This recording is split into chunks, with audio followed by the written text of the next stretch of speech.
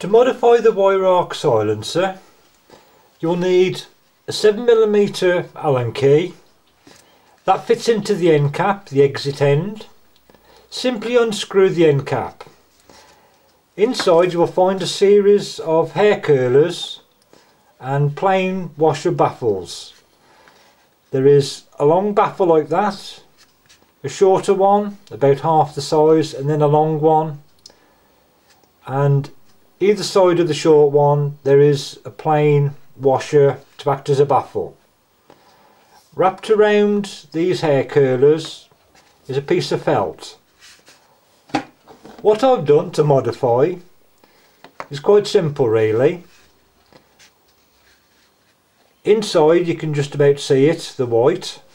What I've done, got a piece of felt that is normally wrapped around the outside of the hair curler like that. What I've done, I've just trimmed down along the end across the width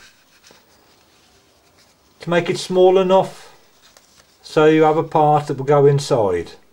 It's approximately just over half the total width so you lose about maybe a third of it just over a half and it fits inside and then another piece of felt goes around the outside and you just simply slide it back into the silencer.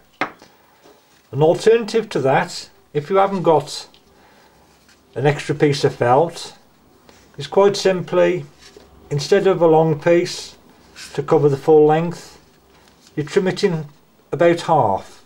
So as you can see, it's about half the, the length.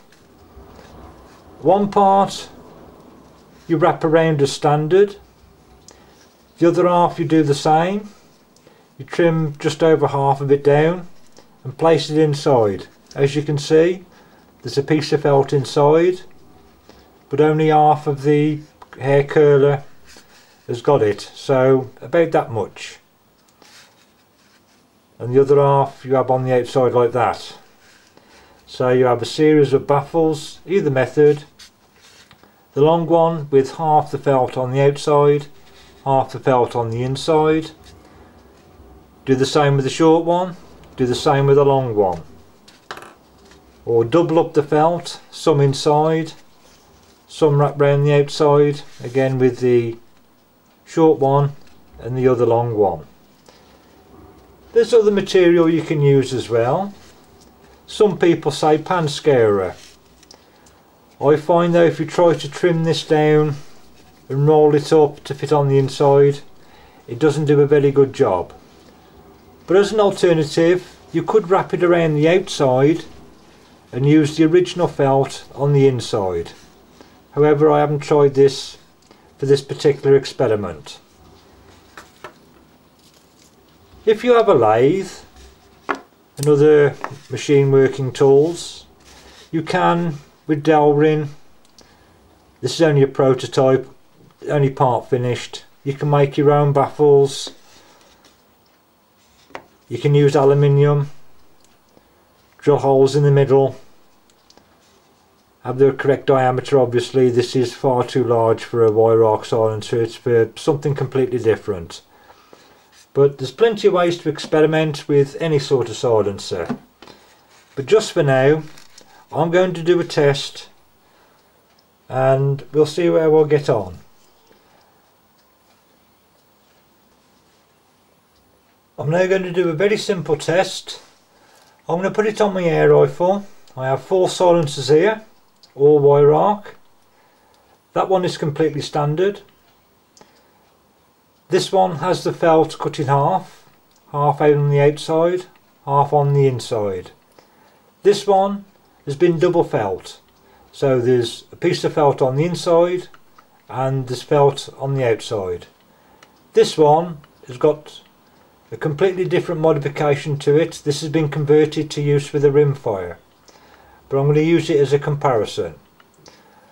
I shall do one shot without a silencer, two shots with a standard Weihrauch silencer, two shots with the felt cut in half, two shots with the double felt, and two shots with this modified silencer and then I shall do a further single shot without a silencer again and let's see how they compare.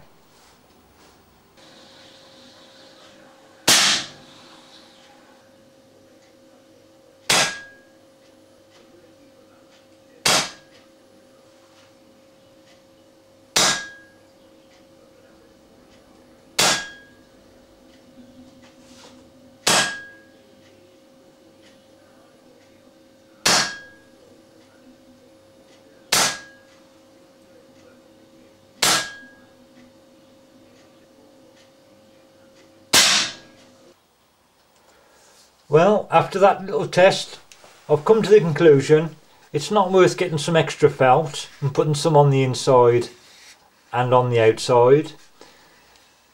It's not worth the effort of cutting the felt in half to put some inside and some on the outside so you've only got a half felt system. I take it that it's best to leave the silencer alone. You can't really do much about it. I've done other quite a few different modifications internally to the one I've done to the firearms but it involves removing these curlers so you could almost say it's a completely different silencer. For now I think I'm going to be quite happy with just the standard Weihrauch silencer. I'll just remind you of the order that I used them in for the little test with the rifle. First of all the standard silencer, then one with the felt cut in half and put inside and on the outside. Then the double felt and then the silencer are modified for rimfire use. And I think you'll agree with me out of the lot unless you're going to modify it completely the standard silencer was just about the best you can get